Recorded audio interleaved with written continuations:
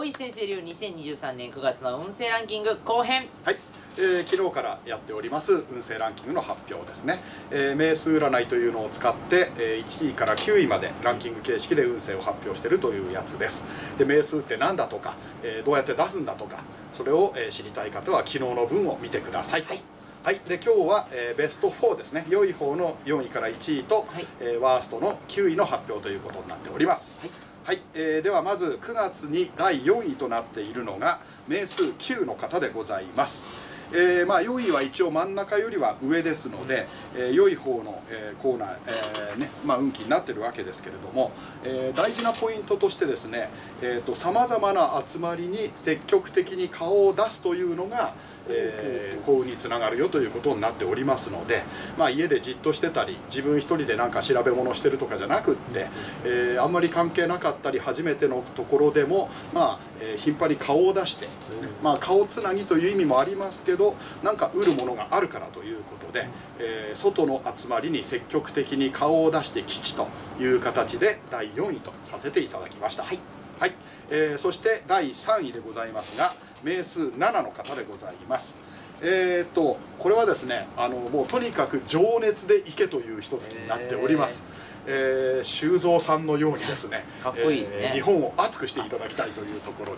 で。で面白いのが、えー、とこの7位、えーごめんなさい名数7の方はですね自分も熱いんだけどそうやって動いてると熱いやつに出会うんですよ。で熱いのと熱いのの相乗効果からいろんなものが生まれてくるっていうになりますのであ。あのいつもこう車に構えて冷めたことを言ってるような人もですね、はい。9月はもう暑苦しく言っていただきたいというふうに思います。いいですねなんか。え積極的に言ってよしということで第3位ということになっております。はい、はい。えーそして第2位ですけれども名数5の方でございます。えーこちらはですねイレギュラーなことが起これば起こるほど開運できるというへまあ、予定変更であったりいきなり飛び込みの何々みたいな感じですよね。あの計画通りにきっちりいったんではそこそこの成果しか上がらないかもしれないけれども、えー飛び込み事案むしろ大歓迎というふうに予定変更大歓迎という感じですね。えーリスケリスケで言っていただきたいなというふうになりますけれども、えーでこれが第2位でございました。ちょっと待ってくださいね。でねもうすでにお気づきだと思いますが、少し心臓のあの バクバク言ってるんで。またあれですね名数2が我々2じゃないですか名数が、はい。よ今のところ呼ばれてないということは1位か1位か9位最下位の可能性が。天国か地獄かみたいな状態になっております。さあお楽しみいいなこういうのなんかバラエティっぽくて。はい、えーでは9月第1位ですが、えー名数2あーよっしゃ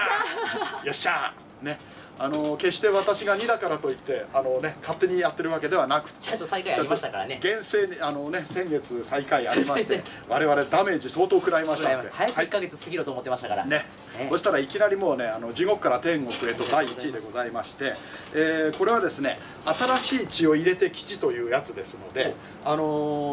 ーまあ今までにやってたことをただ繰り返したのではもったいない運気の月ということになりまして、えー新しいことにチャレンジするんだけどチャレンジするというよりは新しく仲間を引きずり込むとか、えーまああのなんていうかな既成の自分のグループの中に誰か人を引っ張り込むとあるいはやる内容を新しいことに、えーチャレンジするとかみたいなのが良いよという形ですので、えー問題なのはその旧体依然たる状態はダメだよということになっております。えーまあ、ですから今までの仲良しグループにあと1人新しいやつを引っ張り込むみたいな感じが一番こう的確かなという形になります。はい、はいえー協力して基地ですのでね。はいはい、で、えー残念ながら我々が妙に晴れやかな顔しておりますが、えー申し訳ございません、えー9月第9位の方、えー名数8でございます。これがですね、えー、全てに食い違いとかですね、えーすれ違いということの多い月ということでえー残念ながら9位とさせていただきました、えーもう普通だったらスムーズに通る話がなんかギクシャクしたりとかうん。あの連絡したはずなのにわかつながっていないとかですね、あるいはその、えーいつもいる人がその時だけいないとかその、まあ、食い違いすれ違いというような、えーそういう運気となっております、別にご本人が悪いわけではないんですけれども、まあ、運気としてそうだということですので、えー残念ながら第9位とさせていただきました。はい。えー今回 M セランキング会の6位から9位の方は明日被害最小限の過ごし方伝授がございますのでぜひともそちらご覧ください、はい。先生今日もありがとうござあいまりがとうございました。今優越感に浸っていってますした。いやそのあれですね